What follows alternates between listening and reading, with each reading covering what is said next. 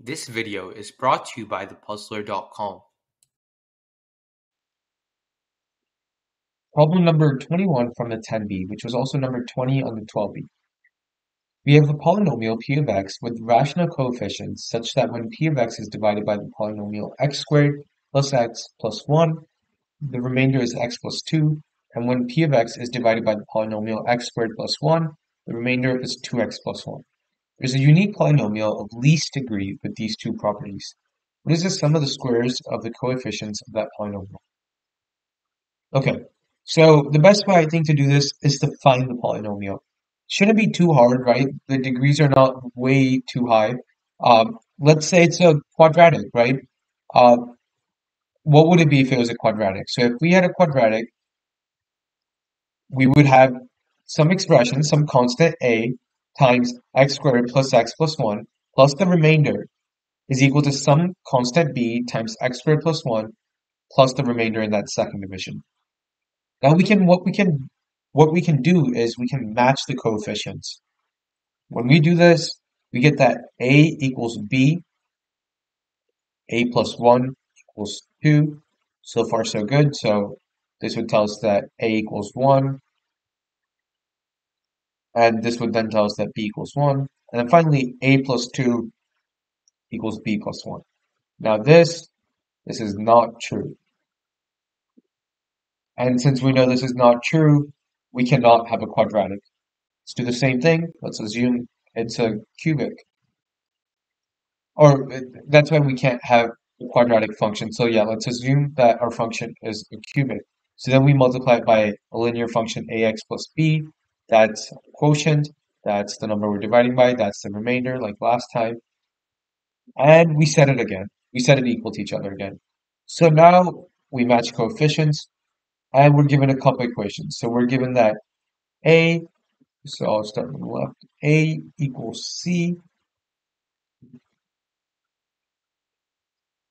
We have that a plus b equals d. We have that a plus b plus 1 equals c plus 2. And then finally b plus 2 equals d plus 1. Now, even though this is a four variable system, it's not a hard four variable system. For example, we know that a equals c, so we can substitute that into here to get a plus b plus 1 equals a plus 2. a's cancel out, so that b equals 1. Now, if b equals 1, what else do we have from there? So we have that, uh, this should be a 2. So we have that b plus 2 equals d plus 1, which means that 3 equals 2 plus 1. So d equals 2.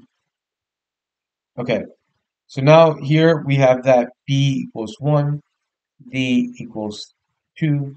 So then a equals 1. And then a equals c, so c equals 1.